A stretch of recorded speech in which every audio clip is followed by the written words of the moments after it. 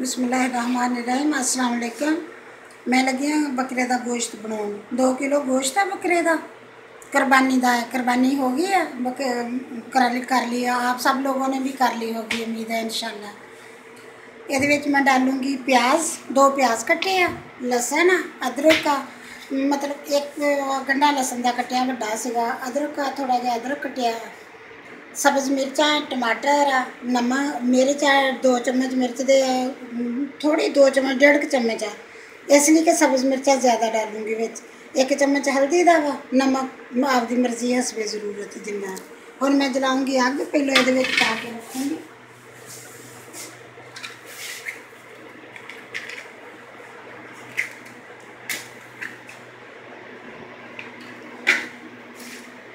बिस्मिल्लाहिर्रहमानिर्रहीम। हम पहले ये गोश्त डालूँगी।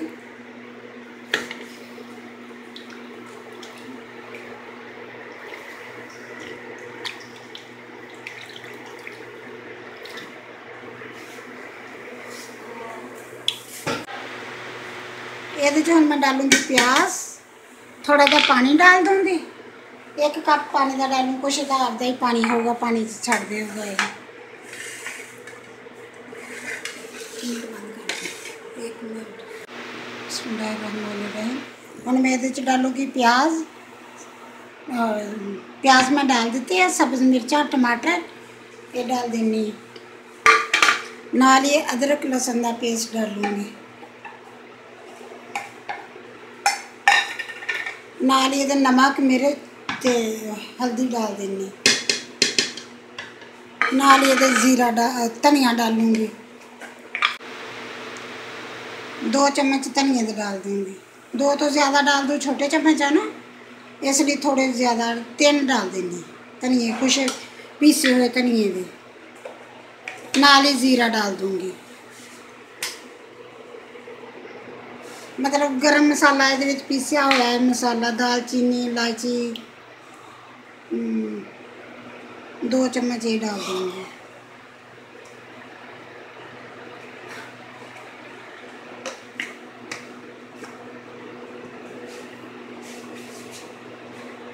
और इनमें चंगी तरह हिला दूँगी। हिला के फिर उत्ते बंद करके रख दूँगी। फिर एक गलदार होगा। थोड़ी थोड़ी देर बाद देखूँगी हिला के तो फिर जो गलूगा, फिर भुनूँगी घ्यो पा के। रिजन लग गया, बिल्कुल पकन लग गया हम मेरे थले ना अग थोड़ी थोड़ी कर दूँगी ये कुछ पानी ने अग भी छड़ दिता कुछ एक कप मैं पानी का डालिया से हम अग थोड़ी कर दूँगी थोड़ी अग के गल दूँगा फिर बिच बिच इन हिलाऊँगी दो तीन दफ़ा चलिए अग कम करती है हमें पकड़ा रहूँगा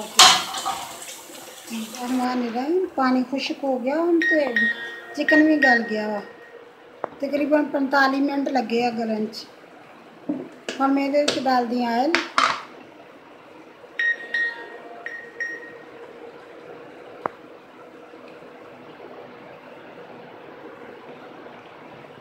हम आयल डाल के इन तो भुनूंगी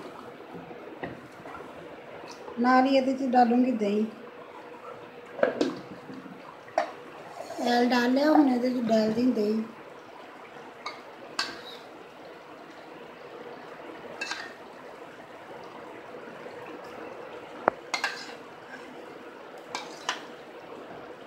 दो चम्मच दही दे डालूँगी।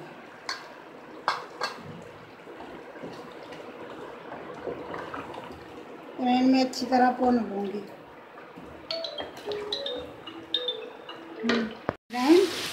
तकरीबन गोश्त बिल्कुल भुज गया है, अच्छी तरह भुन लिया मैं।